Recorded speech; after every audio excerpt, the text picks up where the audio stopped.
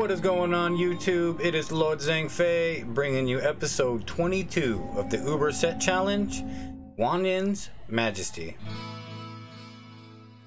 Like the Diablo 2 set Heaven's Brethren, this set also has no Diablo lore, but is paying homage to ancient Korean mythology.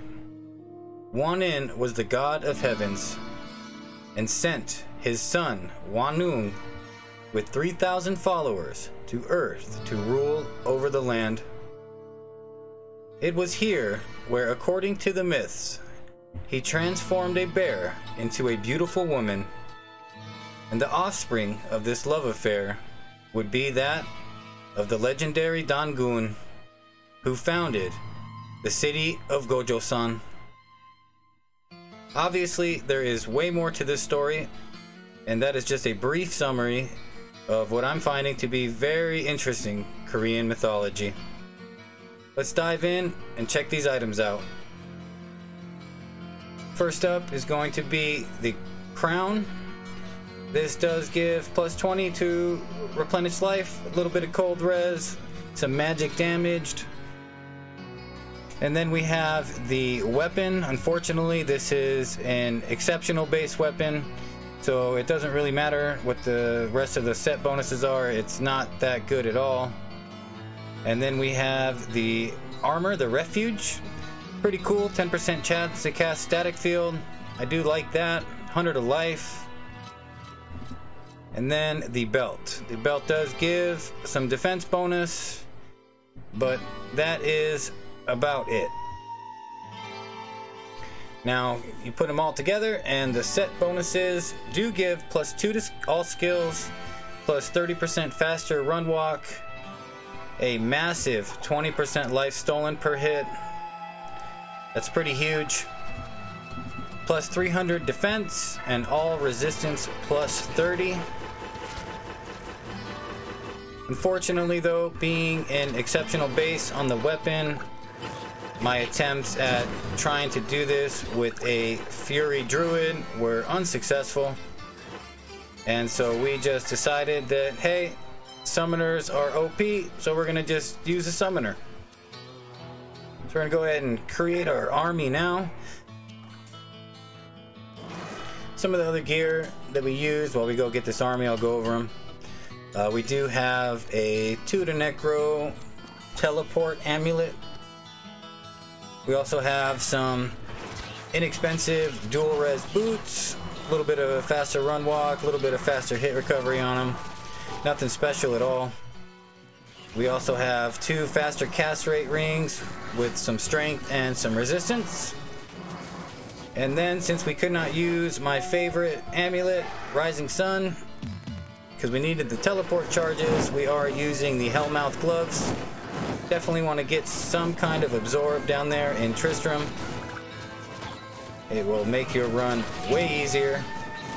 So of course we are getting our revives. Always go with the Urdars, as you guys probably already know.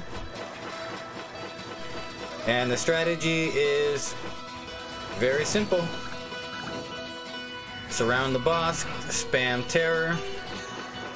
The skill points that we used, we did max Blood Golem, Golem Mastery, Skeleton Mastery, Skeletons, and then we put the remaining points into Skeleton Mages, and we do have one point Decrepify, one point Summon Resist, and one point Revive.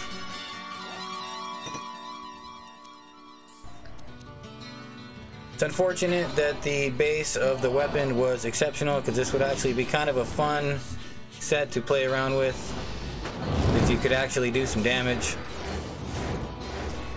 So of course the same kind of bug seems to be happening where Mephisto does not spawn any minions. I'm not too sure why that keeps happening during these set runs. I might try to look further into that because I've done plenty of summoner runs before and he never seems to have this problem. But for some reason, when I'm wearing a complete set, he just does not feel the urge to spawn them. So we were hitting him with Decrepify. It's not super necessary, though. just because the Urdars are going to put in the work. Go ahead and get our Merc back. Go finish him off.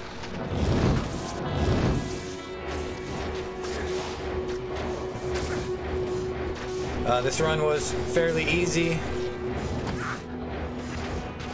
as are most summoner runs.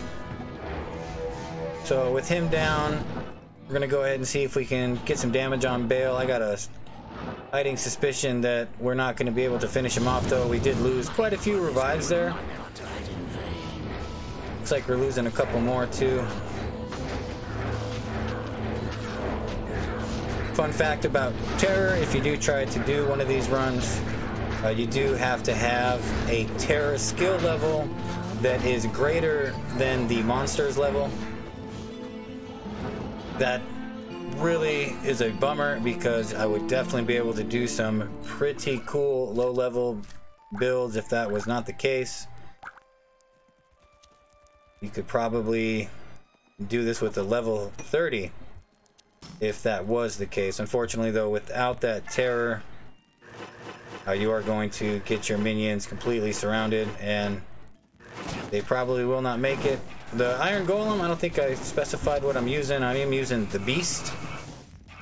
Always love using Beast Rune Word for my Iron Golem. It is a little bit pricey, but you just can't beat it.